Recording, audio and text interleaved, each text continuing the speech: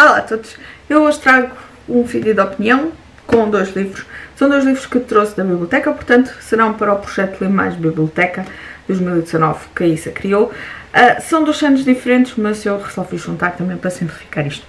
E é a segunda vez que estou a gravar este vídeo porque uh, por algum motivo o vídeo deve ter ficado gravado, só que quando passei para o computador um, não deve ter passado e devo ter eliminado da máquina porque tenho ali uma diferença do número em relação aos vídeos e é este que me falta. Portanto, vamos lá isto novamente. Primeiro livro é então Os Viajantes, de Alexander Bracken. É a continuação então do Os Passageiros do Tempo, que li, julgo eu, em final de outubro. E volta a, a recuperar a história exatamente quando termina o outro. Portanto, nós não percebemos que houve aqui um... Não, não sentimos aquela questão de ter um corte. Uh, acompanhamos novamente a Eta e o Nicholas, mas desta vez, e consequente uh, acontecimentos anteriores, eles estão separados, portanto vamos acompanhando aqui a busca deles novamente uh, pelo Astrolab, mas então cada um separado ao, ao, longo dos séculos. foi muito interessante, eu gostei muito. Uh, gostei de conhecer melhor a Sofia. Gostei, melhor também, gostei também de conhecer aqui uma nova personagem que é asiática, não estou bem certa na nacionalidade, mas sei que é asiática. E deu aqui também aqui um, um outro uh, rumo à história. Uh, mais aqui mais personagens que então se cruzam também aqui com a ETA e que uh, trouxe aqui mais uma vez mais acontecimentos que nos deixaram, ou pelo menos a mim, que me deixaram muito curiosa. E foi uma boa leitura, eu vou dar 4 estrelas.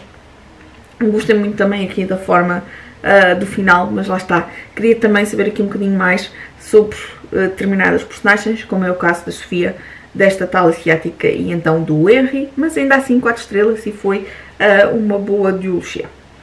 O outro livro é então A Nossa Vida em 7 Dias, que é um livro que desde que saiu eu estava curiosa. Porquê? Porque sabia que era passado no Natal e então, nada mais nada menos que também eu li aqui para a categoria do Christmas in the Books, um livro que se passa no Natal.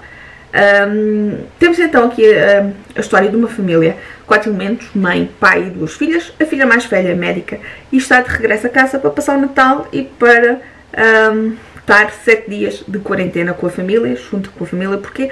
Porque ela teve um, num país, uh, por causa que estava com uma doença grave, agora não me recordo o nome da doença, não sei se está aqui, não. Uh, e então, uh, como ela esteve a dar apoio a essa doença, depois tem que estar aqui em quarentena e ficam todos juntos dentro, então aqui dentro desta casa. Acaba por ser então uma história de família.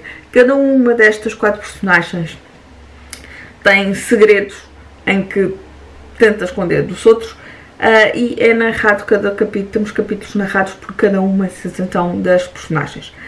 Uh, temos depois ainda aqui uma quinta personagem que uh, está aqui uh, ligado com a família, que vai então também estar aqui presente nesta quarentena. Eu gostei, gostei, foi uma leitura que até fiz bastante bem, foi fluida, mas confesso que esperava mais, esperava uma história mais divertida, mais aqui dentro, também aqui um bocadinho mais dentro do espírito natalício, acaba por, em termos de Natal, acaba por ser só Uh, temos poucas referências, percebem? Não temos, temos aqui a indicação dos dias de Natal, também o Natal e o Ano Novo também, uh, e aqui um bocadinho de uma troca de presentes, mas uma coisa muito, muito, uh, muito leve e acaba por não ter uh, o Natal a importância que eu achei que, que teria. E também estava também à espera de uma história mais divertida. e não. Ou, ou melhor, aqui um bocadinho entre, se calhar, dois opostos. Ou uma história muito divertida ou uma história com uma carga dramática um bocadinho mais pesada. E acaba por estar aqui um bocadinho no meio, assim um bocadinho, uh, lê-se bem, lê-se, mas lá está, é daquelas coisas que esperava mais e daí vou dar uh, três estrelas ao livro. Eu vou então ficar por aqui, digam se leram então algum destes livros, se ficaram curiosos, contem-me tudo cá em baixo. Eu vou ficar por aqui, um beijinho e até o próximo vídeo.